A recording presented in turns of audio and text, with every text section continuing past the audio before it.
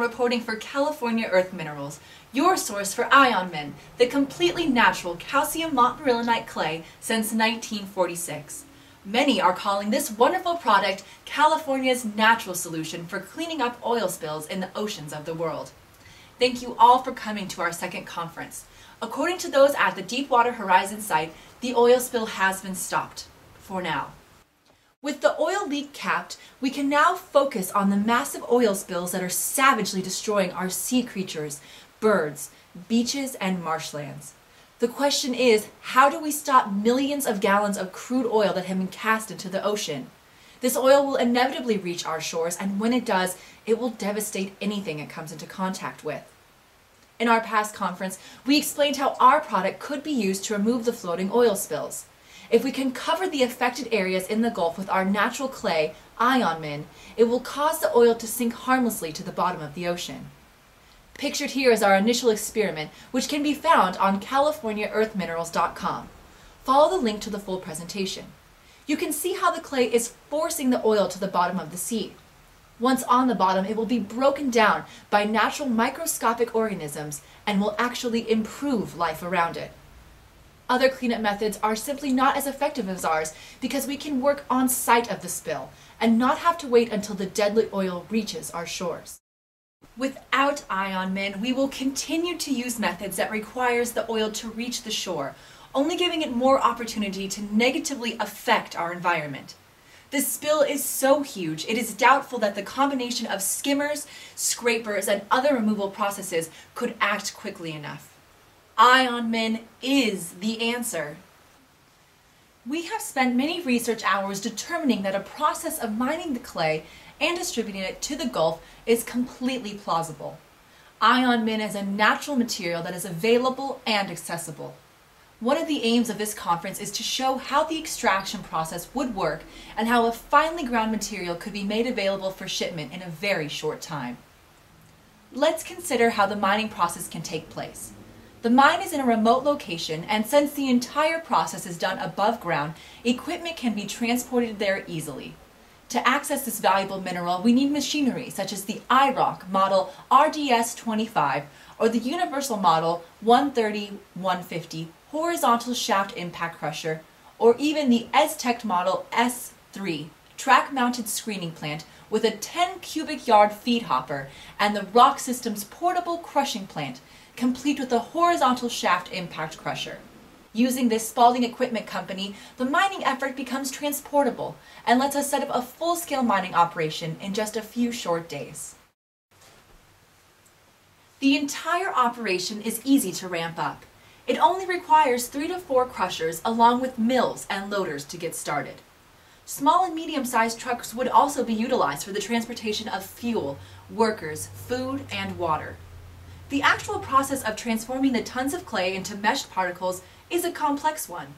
We are able to mine, crush, and mill ion IonMin on site though.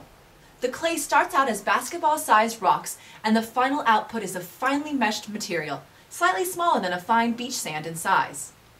They are then dropped from the conveyor belt to form a large pile where the loaders scoop it up and load the dump trucks. A specially designed center truck is used for the easy offload to rail cars. We are then able to immediately disperse it for aiding the Gulf. We will now open the floor to any questions. Kat, what impact will this have on the environment? Mining millions of tons must have an impact on the area where it is being mined, doesn't it? Yes, it does. But we do everything to lessen our impact on nature. We have a blueprint that spells out what we will do to restore the area after we pull the ore from the ground and follow it to a T. We want to leave the surface as natural as possible. Engineers design and improve the plan, so we have standards that are set and followed.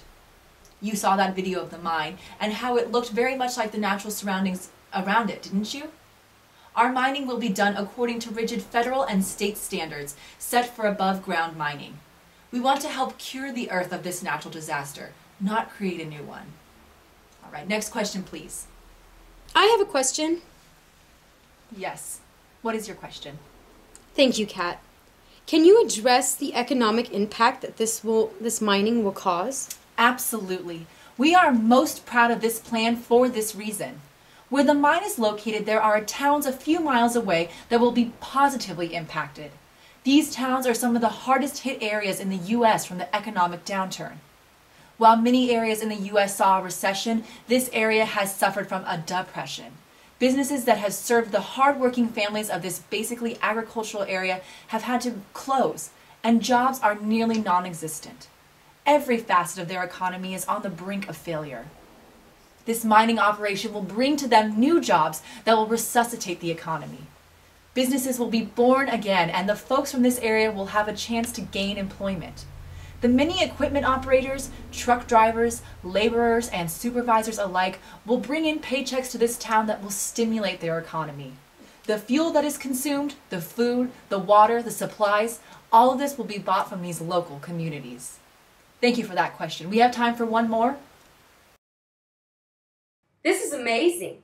The concept sounds great. A natural solution that is good for the environment. You have shown how much IonMin is available and we can see how it is easily accessible. Now we have learned of the plan to mine and how quickly it can be done. What is next? What has government or BP done to acknowledge this and begin the process? You are correct.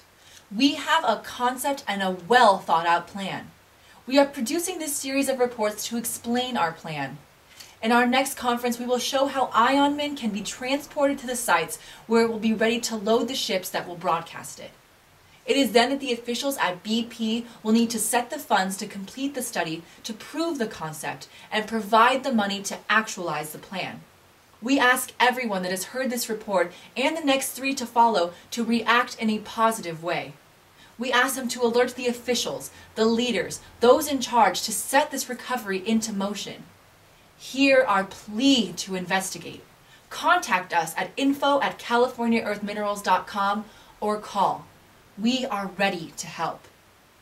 Thank you all so much for attending. We will see you soon. This is Kat Brown signing off.